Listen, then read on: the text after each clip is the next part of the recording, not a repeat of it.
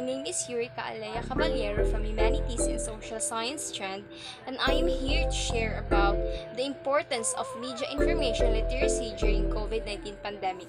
But before that, we need to know what is media information literacy is.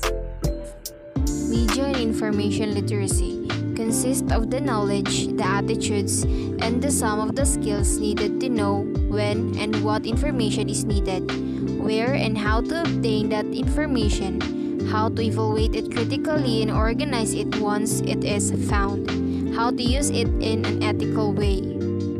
Media literacy encompasses the practices that allow people to access, critically evaluate, and create or manipulate media. Media literacy is not restricted to one medium. Media literacy education is intended to promote awareness of media influence and create an active stance towards both consuming and creating media. The coronavirus disease has changed our world forever. Many people are dying. Millions of people are in lockdown and many businesses not survive. The COVID-19 virus has brought forth a wave of misinformation that is rapidly gaining traction on social media. It is imperative for readers to practice media literacy.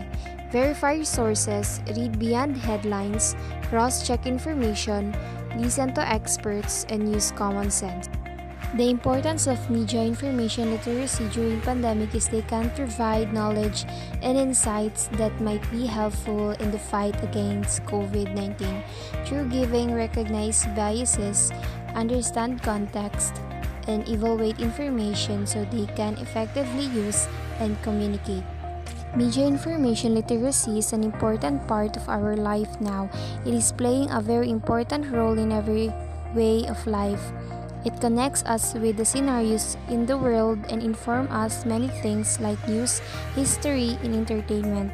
It, it helps in bringing the true facts and information of the world in front of our eyes.